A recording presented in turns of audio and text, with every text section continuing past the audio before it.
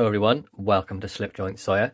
It's Saturday, we do another response to John over at Thrifty Kaniffy's open tag, which is Super Saks Saturday. Pretty straightforward, show a Swiss Army knife on a Saturday. And we're going to be looking, taking a look at one from Victorinox today, and this is quite a special one. Uh, it's actually a model that's been long discontinued, um, and then like an original of this model, the Yeoman, is really, really expensive because obviously it's so it's quite rare. Um, so I got Dan to knock me up a custom one, same specification, pretty much, just a couple of different changes with design rather than the tools.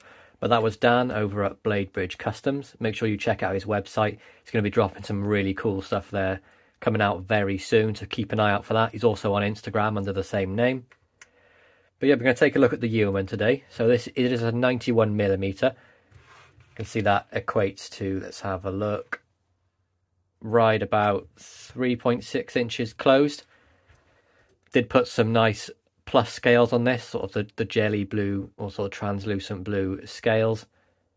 You can see through there, you can see the Victorinox there. When the two tweezers are in there, you can see it sort of highlights that on there. And then being plus scales, of course, you do get the pen on the back. Now, what's the main thing di different for this compared to like a standard Yeoman is this has the black G10 liners that Dan's put in there, and he's done an absolutely fantastic job. The quality of his work and craftsmanship is it's second to none. He does such a great job. Sharpens the blades, everything lines up. There's never any wobble or play. He's just he's a great guy as well. Does a fantastic job.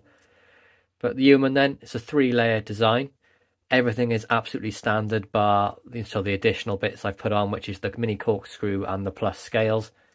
But you can see instead of the normal front layer where you would get a cap lifter and the tin opener you actually have the inline Phillips screwdriver. That's a 3D Phillips screwdriver. You can see that on there.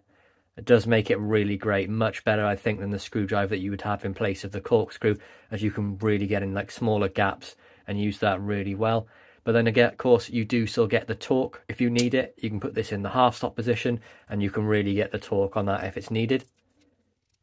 Really nice snap and walk and torque on that on that tool. Just really impressed with this, like over the moon when when it arrived from Dan. Just listen to the snap on all these. Great action, really smooth as well. And then we have the magnifying glass this side, and of course this is the older style with the grey plastic. Newer style does have a slightly bigger lens with clear plastic around. You can see that there. If I bring it up to the watch, you can see that magnifying. There we go. Let's see if you can get the Orient. There we go. So it works really well. And to be honest, this is a much better opening layer for me because it's not very often I need to use a can opener or a large flathead screwdriver or a cap lifter. I'm much more likely going to need the magnifying glass and the, the Phillips screwdriver. See that on in there? So it does make that layer a little bit thicker. Of course, these are two thicker tools. Next up then, we have the scissors on there. See, this is the 91mm style scissors. That really nice leaf spring design. They haven't changed and it works fantastically well. These have also been sharpened by Dan and when I say they're scary sharp, they really are so smooth. It, honestly, they glide close. And you're not scissors when you close them, you can feel them sort of not grabbing, but you can feel the blades rub against each other. You really can't with these. It's like they're not at all. But if you look, it's so, so close. They're just phenomenally sharp. And of course, the action on these tools, as as you'd expect from any standard Victorinox, is absolutely fantastic. Next up then we have the main blade.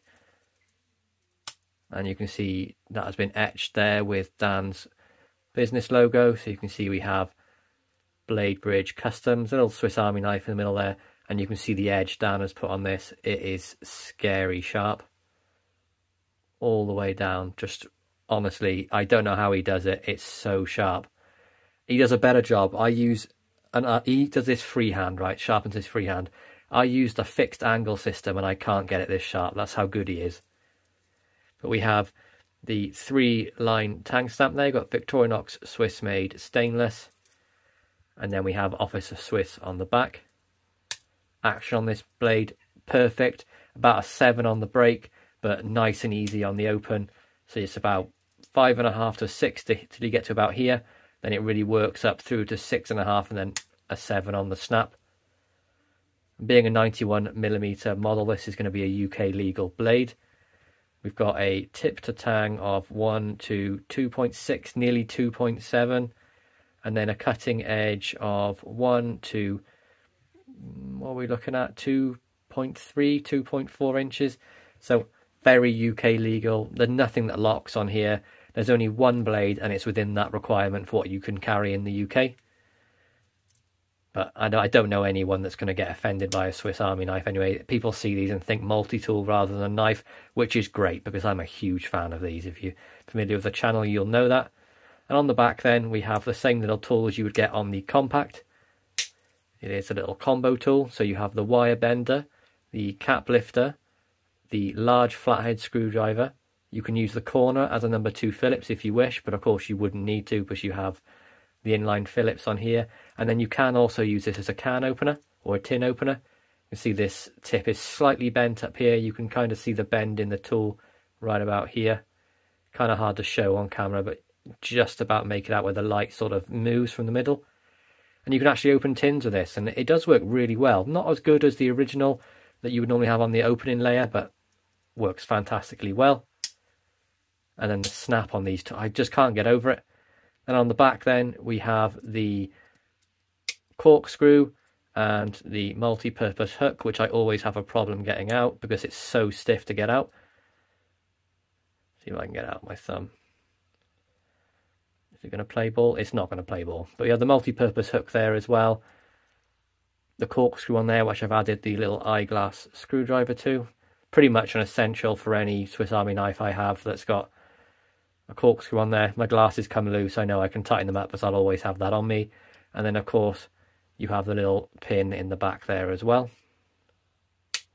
Scale tools then. We have the, the toothpick. We have the little ballpoint pen. Excellent in a pinch if you're stuck without a pen. And then on the front, we have the tweezers. So there we go, guys. That's my sort of review or overview on the Victorinox Yeoman. Of course, this is a custom by Dan over at Blade Bridge Customs. I really hope you enjoyed this video. Please be sure to like, subscribe, and ring that bell for notifications, and I'll catch you in the next one. Peace out.